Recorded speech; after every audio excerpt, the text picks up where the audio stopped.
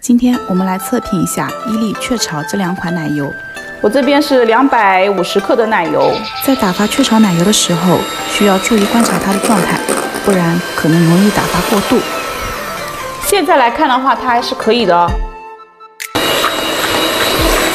伊利的奶味很重啊，我一开始打的时候就一股奶味出来了。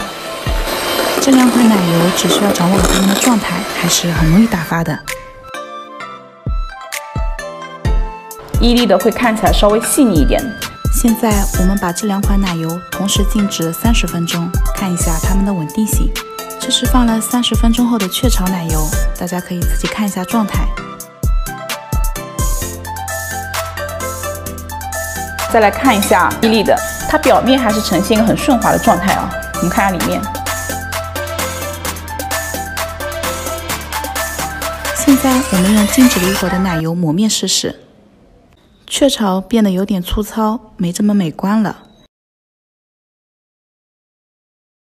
伊利则有点稀释，没有这么容易塑形。所以新手在使用这两款奶油做蛋糕时，需要快速的制作完成，不要倒腾太久哦。